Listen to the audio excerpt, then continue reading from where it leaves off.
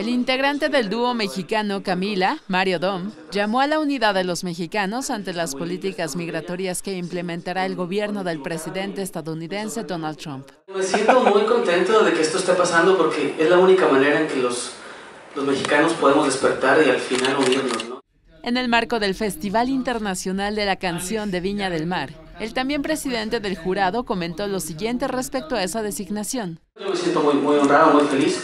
Eh, llevo escribiendo canciones más de 20 años y, creo que me siento tranquilo y, capaz de, poder opinar coherentemente sobre la música que voy a escuchar esta noche. Además hay, hay gente muy talentosa. Por su parte, el cantante argentino Noel Chagris, integrante del dúo Sin Bandera, aseveró que hay que construir puentes, no muros.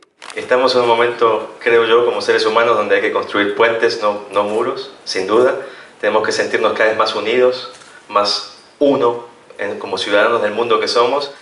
Respecto al show que presentarán en el Festival de Viña del Mar, indicaron que están emocionados de regresar 11 años después de su primera presentación.